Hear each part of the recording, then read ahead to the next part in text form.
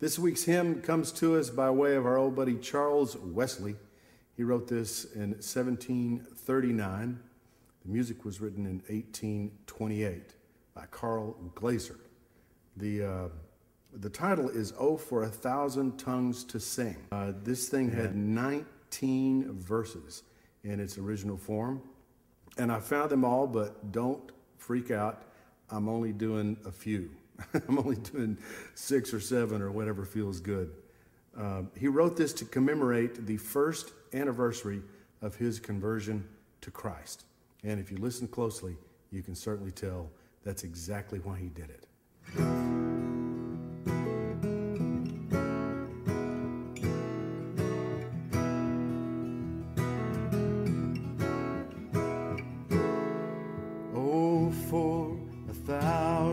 Tongues to sing. My great Redeemer's praise, the glories of my God and King, the triumph of His grace,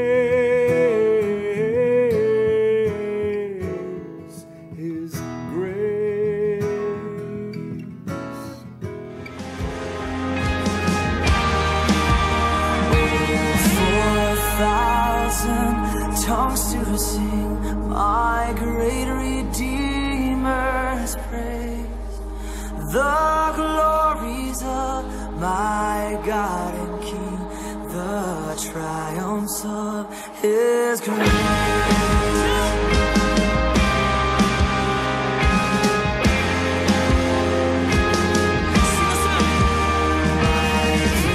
master and my God, assist me to proclaim, to spread through all the earth abroad